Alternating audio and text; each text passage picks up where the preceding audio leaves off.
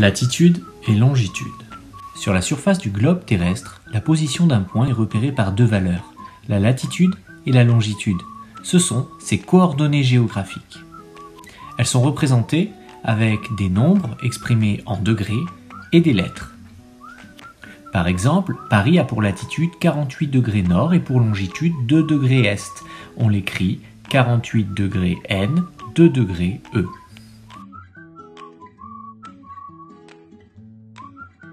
La latitude est la position d'un point de la surface de la Terre par rapport à l'équateur, cette ligne imaginaire qui partage le globe en deux hémisphères égales, l'hémisphère nord et l'hémisphère sud.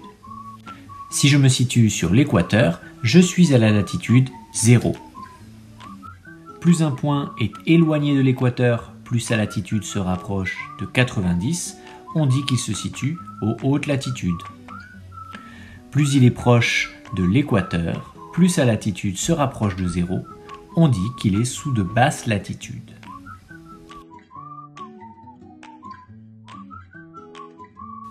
Le globe terrestre pivote sur lui-même, d'ouest en est, et autour d'un axe, l'axe des pôles. Cet axe traverse la Terre au pôle Nord, au milieu de l'océan Arctique, et au pôle Sud, au milieu du continent Antarctique.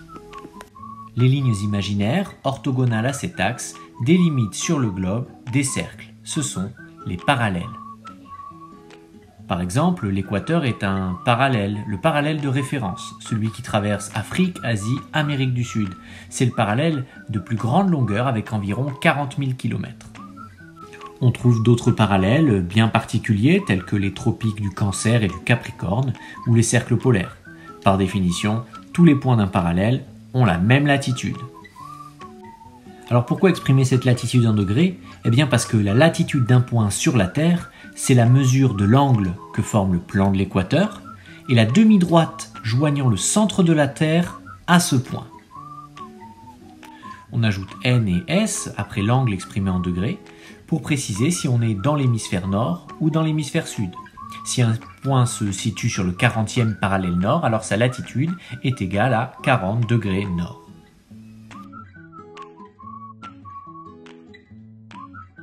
On l'a dit, le globe terrestre pivote sur lui-même et autour de l'axe des pôles.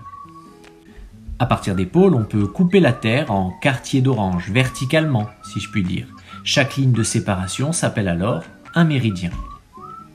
Pour mieux se situer sur la Terre, on fixe de manière plus ou moins arbitraire un méridien et on mesure les angles par rapport à ce méridien de référence. Pour des raisons historiques, le méridien d'origine est celui de Greenwich, une petite ville proche de Londres ayant un important observatoire astronomique. Chaque méridien fait un angle avec le méridien de Greenwich.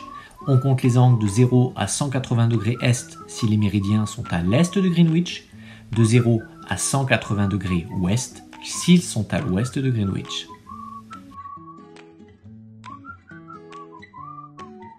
Chaque point sur une carte a des coordonnées géographiques uniques. Et pour trouver ces coordonnées, on se repère par rapport à l'équateur pour la latitude ou au méridien Greenwich pour la longitude.